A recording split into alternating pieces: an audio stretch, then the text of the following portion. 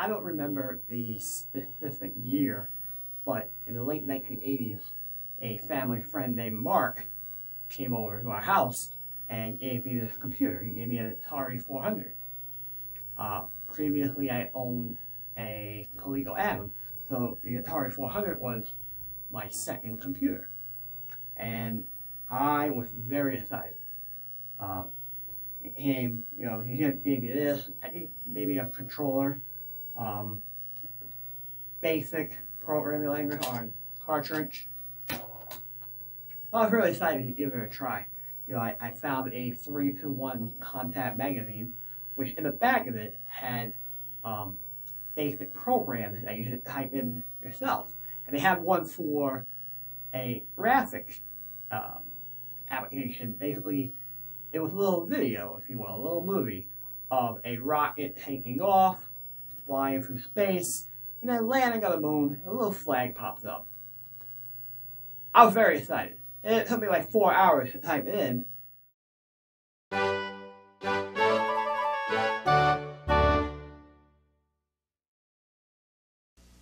Atari brings the computer age home. Okay, Ma, what's the capital of Nebraska? Oh, Come on, come on. I'm trying. I'm Learn geography or get your jump shot on target.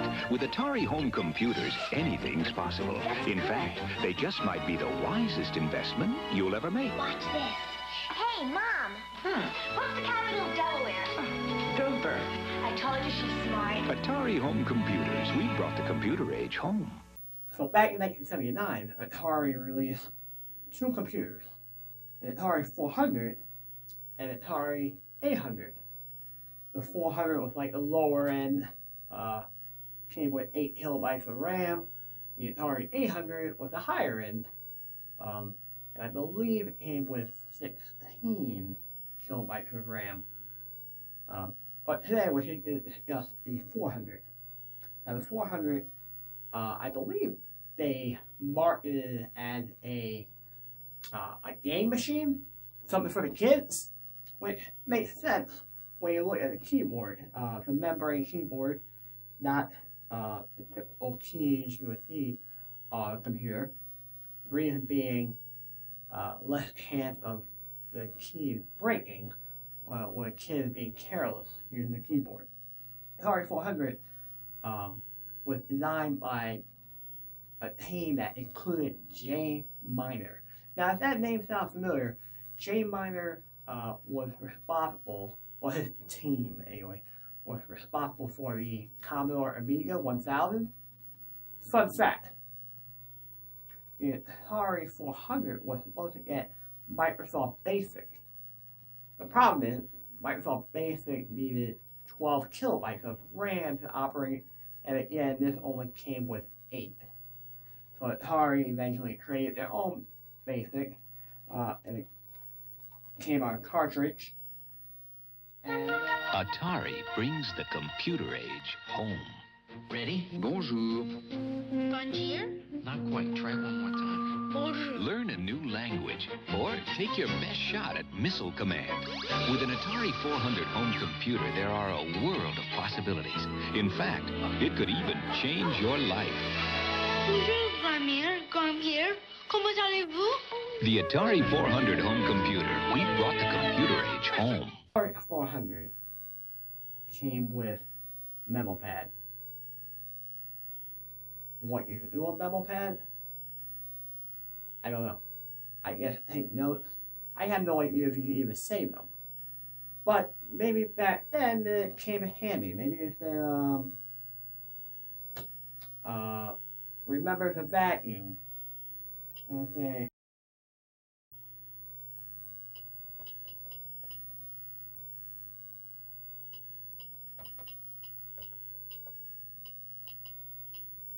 And then, you know, right.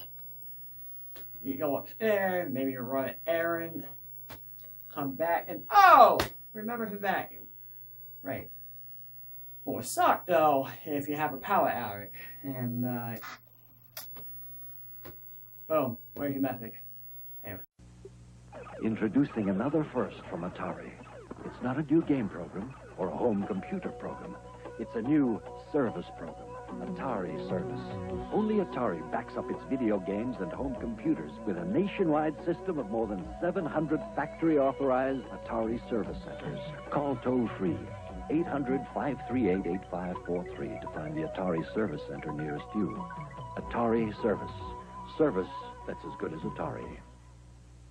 The Atari 400 also had a lot of peripherals available.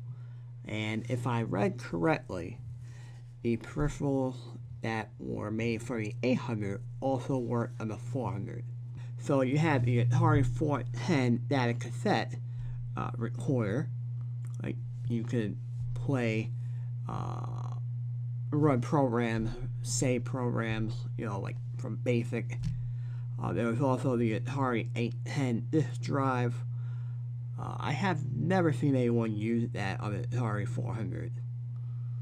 Uh, you also had printers available. There was the Atari 820, uh, the Atari 822, which was a thermal printer, and the Atari 825, which was a 80 column dot matrix printer. Uh, of course, I spoke about this earlier. You could get the Atari 830, which is a acoustic modem. Um, the keypad, which was designated CX85, and of course, you know, the, the usual stuff like joysticks. The Atari 400 had some starter kits available, one of which was the Programmer Kit, uh, which teaches you how to write your own programs. Uh, came with reference manuals, uh, software. Uh, so basically, you learn how to code with this kit. There was also the Educator, uh, which um, basically came with programs to stuff like state capitals, uh, how to type, uh, programming. If you wanted to get online or connect uh, with other users, there was the communicator, which came with the 300 baud acoustic modem, along with Telelink, which was the software used. Uh, and the last one was the Entertainer, which is nothing more than a collection of Atari video games like Missile Command and Star Raiders.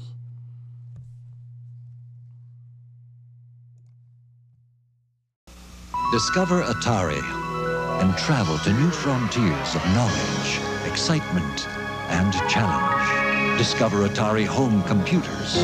Learn with computers truly designed for the home. Sophisticated, yet simple enough for your child to use. Play incredible games like Star Raiders. Master your finances.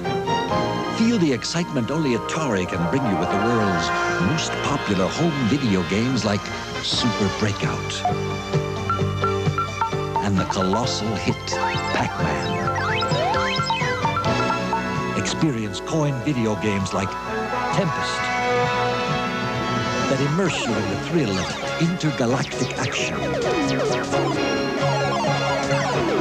Enter the computer age at the speed of light.